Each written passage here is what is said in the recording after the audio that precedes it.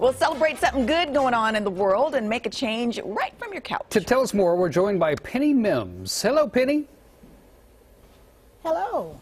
So, Mims Corner, this How is are a you? fantastic. Good to see you both. And actually, introduce us to the lovely gentleman who's standing next to you. That would be husband, Tony Mims. Oh, hey, Tony. Good to see you both. Hey, hey. So, Mims Corner, uh, you're an organization out of Stockton who is helping the homeless population. Tell us about what you do.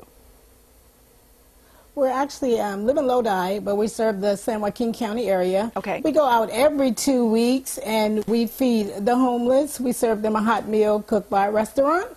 Um, and we also have annual events like holiday food boxes and toy donations um, that we give out to the community. Um, we give a great big thanks to our church, Greater Christ Temple, Bishop Troy Dockery Sr., who allow us to use the grounds to give out all of these um, generous toys and food boxes um, as donations Oh, to the wonderful. community. What a lovely thing to do. So, what inspired you to do this? Um, we started doing um, an event 12 years ago called Night of Elegance. We would have all the children from the ages 3 to 12 dress up in their finest clothes, whatever the finest was. The teenagers became the waiters and the waitresses. And then the Marines would escort the ladies in because we were teaching them etiquette also and work ethics. So that's how we started.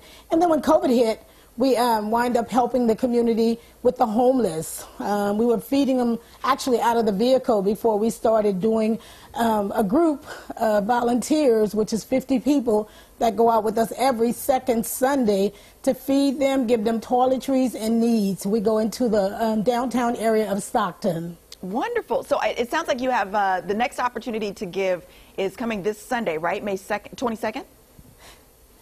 Yes, May 22nd, we will be out um, in the community feeding the homeless, giving out clothes, shoes, toiletries.